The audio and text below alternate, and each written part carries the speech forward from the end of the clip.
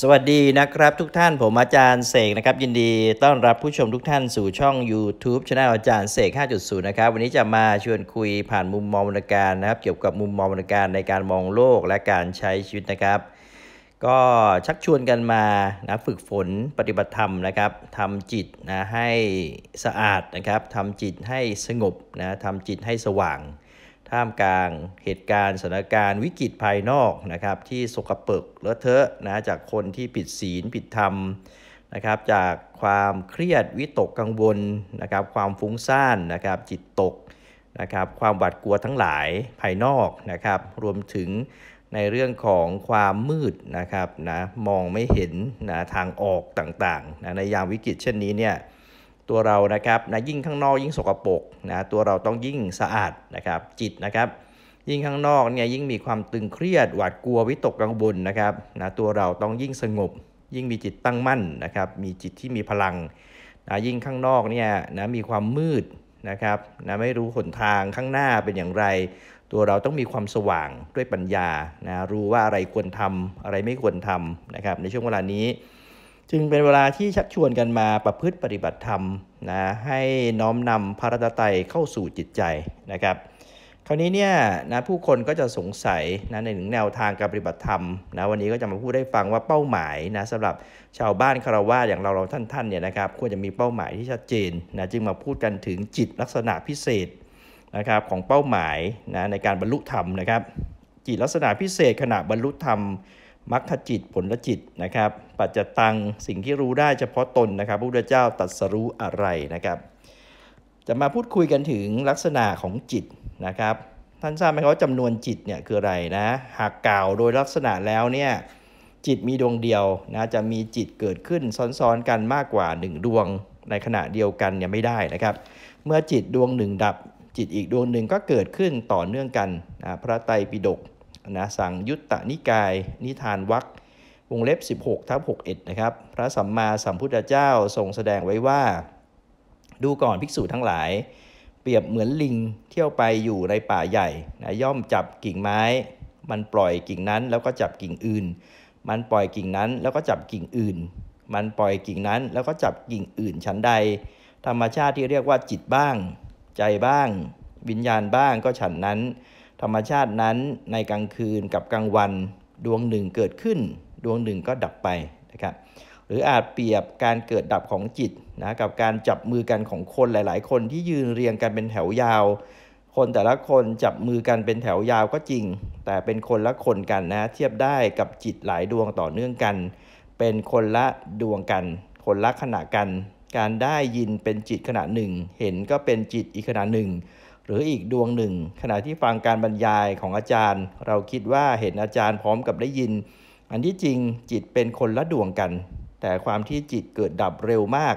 และต่อเนื่องเราจึงไม่อาจแยกแยะได้ว่า เห็นขณะหนึ่งได้ยินขณะหนึ่งนะ ทุกครั้งเมื่อมีจิตก็มีเจตสิกนะหมายถึงเครื่องประกอบจิต เกิดขึ้นร่วมด้วยเสมอ ซึ่งเป็นเหตุให้จิตทำกิจการงานแตกต่างวิจิตไปได้หลายอย่าง สุดแต่ว่าเจตสิกใดเข้าประกอบในขณะนั้น เช่น โลภะเจตสิกจึงมีจิตโลภโทสะเจตสิกจึงมีจิตโกรธเป็นต้นนะ ดังที่เราเรียกกัน การที่จิตแตกต่างกันด้วยกิจการงาน และอาการของจิตที่ปรากฏแตกต่างกัน เพราะเจตสิกนี้จึงได้จำแนกจิตได้ถึง 89 ดวง หรือโดยพิสดารนะครับคือ 121 ดวงนะครับ วันนี้ผมจะมาชวนคุยกันนะ โดยเฉพาะจิต ที่สำคัญนะของผู้ปฏิพฤติปฏิบัติธรรมในขณะบรรลุธรรมนะครับ โลกุตระจิต เป็นจิตที่รับอารมณ์พานิพานนะหรือเป็นจิตเหนือโลกทั้ง3นะครับคือการมาโลก รูปโลก และอรูปโลก นั่นหมายถึงการมาภูมิ รูปภูมิ และอรูปภูมินะโลกุตระจิตได้แก่มรรคจิต 4 ผลจิต 4 รวมเป็น 8 ดังต่อไปนี้นะโสดาปฏิมรรคจิต1โสดาปฏิผลจิต1 สกทาคามิมรรคจิต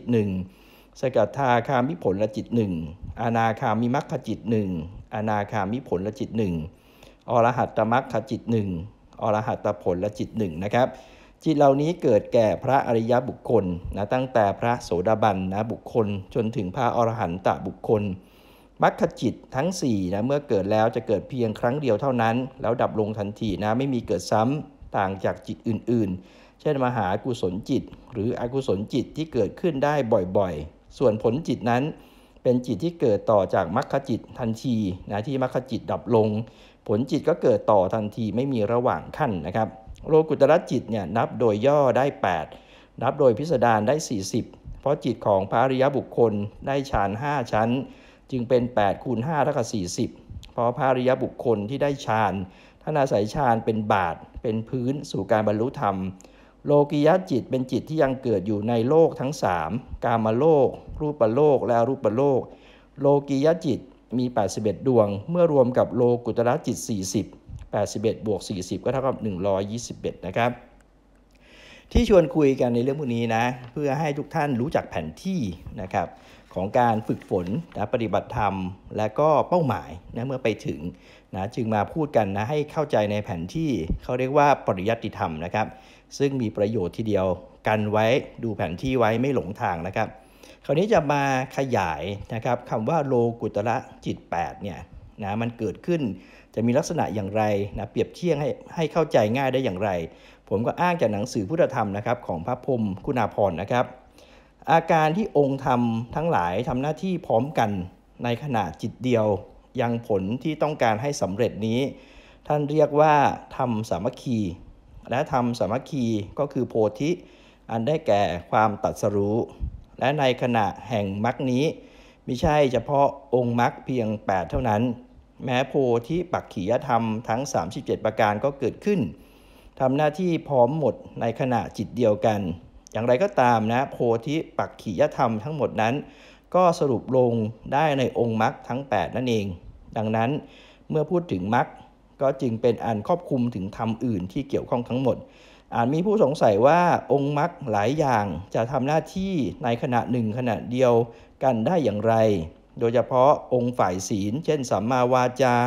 และสัมมากัมมันตะ ดูไม่น่าจะเกี่ยวข้องในกรณีอย่างนี้เลย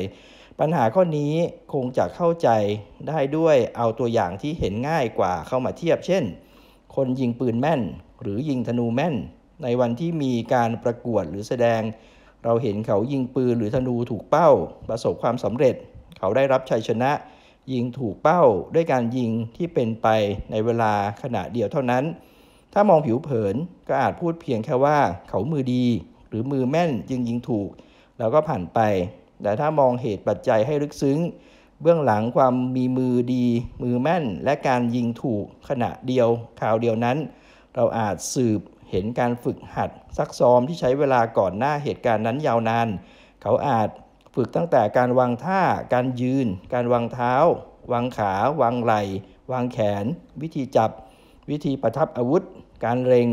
การกะระยะ การหัดใช้กำลังให้พอดี ปัญญา ไหวพริบ การตัดสินใจ และจิตใจที่แน่วแน่ เป็นต้น มากมาย จนเกิดความคล่องแคล่วช่ำชอง ทำได้ในเวลาฉับไว เข้าที่ทันที จนรู้สึกเหมือนเป็นไปเอง โดยไม่ต้องใช้ความพยายาม คันถึงคราวแสดงในเวลาที่เขายิงถูกเป้าอย่างแม่นยำ อันเป็นไปในขณะเดียวนั้น ย่อมมีความจริงที่เราไม่อาจปฏิเสธได้เลยว่า การยิงแม่นวิบเดียวนั้น เป็นผลรวมของการจับถือ วางกิริยา ท่าทาง ใช้กำลังพอดี ด้านร่างกาย ความมั่นใจ จิตตั้งมั่นแน่วแน่ และความรู้วัยไหวพริบทั้งหมดที่เป็นเหตุ ปัจจัยพังพร้อมอยู่เบื้องหลังตั้งมากมาย พูดอีกอย่างหนึ่ง กิริยาการความพอดีของร่างกายทั้งหมดก็ดี ภาวะจิตใจที่พร้อมและทำงานได้ ที่ก็ดีปัญญาที่รู้เข้าใจบัญชาให้ตัดสินทำการก็ดีทำหน้าที่ร่วมกันทั้งหมดในการยิงขณะเดียวกัน และความพร้อมพอดีของกาย ความพร้อมพอดีของใจ ความพร้อมพอดีของปัญญาในเวลานั้น ก็คือผลของการซักซ้อมฝึกหัด ตลอดเวลายาวนานเป็นแรมเดือนแรมปีทั้งหมด จึงพูดได้ว่าการยิงถูกเป้าขณะเดียวนั้น เป็นผลงานของการฝึกซ้อมที่ยาวนานเป็นเดือนเป็นปีทั้งหมด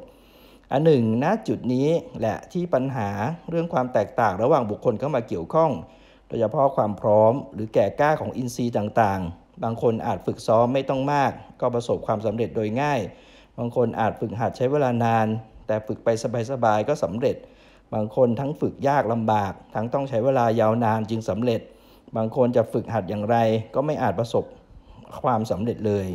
นอกเหนือจากความแตกต่างระหว่างบุคคลแล้ว ความสำเร็จและความช้าเร็วเป็นต้นยังขึ้นต่อปัจจัยอื่นอีก โดยเฉพาะการฝึกที่ถูกวิธี การมีผู้แนะนำหรือครูดีที่เรียกว่ากัลยาณมิตร ตลอดจนสภาพในกายและสภาพแวดล้อมทางกายภาพเป็นต้น โดยในนี้นะฮะท่านจึงจำแนกการปฏิบัติธรรม ที่ประสบความสำเร็จออกเป็น 4 ประเภท เรียกว่าปฏิปทา 4 คือนะทุกขาปฏิปทานะทันทาพิญญา ปฏิยากปฏิบัติยากลำบากทั้งรู้ช้า ทุกขาปฏิปทา ขิปปาพิญญา ปฏิบัติยากลำบากแต่รู้เร็ว สุขาปฏิปทา ทันทาพิญญา ปฏิบัติสะดวกสบาย แต่รู้ช้า สุขาปฏิปทา ขิปปาพิญญา ปฏิบัติสะดวกสบายทั้งรู้เร็วนะอันนี้คือสิ่งที่นะเป็นแบบแผนแผนที่นะเป็นคำแนะนำนะครับของครูบาอาจารย์นะพระพุทธเจ้า แล้วก็พระอริยสงฆ์สาวกทั้งหลายนะครับ ผมมองเห็นว่าเป็นแผนที่ที่ควรจะมาบอกเล่าให้ทุกท่านฟังนะครับ เพื่อเป็นจุดเช็คพอยต์ ว่าเราปฏิบัติเราไม่หลงทางนะบางคนปฏิบัติทำไปนะคิดว่ารู้แล้ว ว่าพระพุทธเจ้าตรัสรู้อะไร จริง ๆ แล้วไม่ใช่นะครับตราบใดนะผู้ใดที่ฝึกฝนปฏิบัติธรรมนะครับ ยังไม่ไปถึงมรรคจิต ผลจิตนะครับไม่ถึงเเรียกว่ายังไม่เห็นนะความสมัคคีนะครับของมรรคเนี่ยในหนึ่งขนาดจิตเดียวเนี่ย นะแล้วคิดว่าตัวเองรู้ในสิ่งที่พระเจ้าตรัสรู้แล้วนะมีความประมาทอยู่สิ่งนี้อันตรายนะครับ จึงมาชวนคุยกันนะครับ ในจิตลักษณะพิเศษนะขณะบรรลุธรรมมรรคจิตผลจิตนะครับปัจจตังสิ่งที่รู้ได้เฉพาะตนนะพระพุทธเจ้าตรัสรู้อะไรนะพระองค์ตรัสรู้อริยสัจสี่ตรัสรู้ในเรื่องของทุกสมุทัยนิโรธมรรคนะครับ โดยเฉพาะอริยมรรคมีองค์ 8 ประการ มีเฉพาะในพุทธศาสนา อริยบุคคลมีเฉพาะในพุทธศาสนานะครับ และจะเกิดขึ้นได้เมื่อเกิดจิตนะครับที่พิสดารนะครับที่เรียกว่ามรรคจิตนะและผลจิตนะซึ่งจะมีเขาจะเรียกว่ามรรคสี่ผลสี่นิพพานหนึ่งนั่นเองนะก็มาเล่าสู่กันฟังนะครับให้เป็นแบบแผนเป็นแผนที่นะจะได้ไม่หลงทางกัน และเป้าหมายที่ชัดเจนนะผู้ใดปฏิบัติถึงตรงจุดนั้นรู้ได้ด้วยตัวเองนะครับ ปัจจตังเวทิตโพวินยูหิติ ก็จะเป็นสมบัติในใจของผู้นั้นที่ติดตามไปจนถึงพระนิพพานนั่นเองนะครับ ก็ขอให้เจริญในสีปัญญานะครับ แล้วเจอกันใหม่คลิปหน้าธรรมะ สวัสดีครับ